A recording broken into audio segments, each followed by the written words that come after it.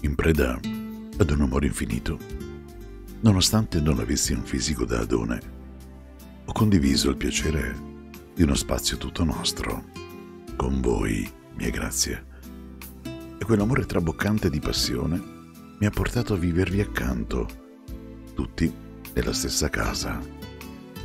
Per voi ho speso amore a profusione e fiumi di parole nelle poesie più intriganti dei primi del Novecento, ma ho sempre nascosto il mio lato debole, quello di svegliarmi col pensiero di una di voi che per me è stata un'abitudine ogni giorno. E come trasportato da una forza misteriosa, ogni mattina levatomi dal mio letto, con un piacere incommensurabile mi filavo sotto le lenzuola di seta accanto a lei.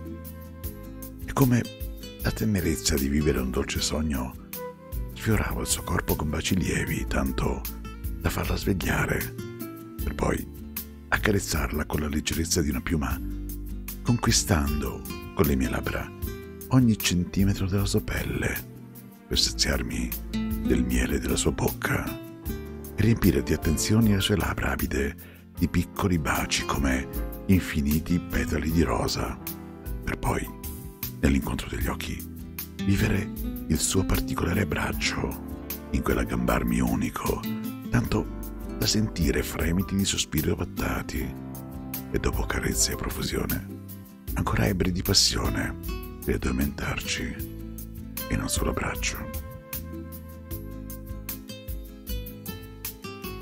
Le tre camere, Maria, Eleonora e Barbara.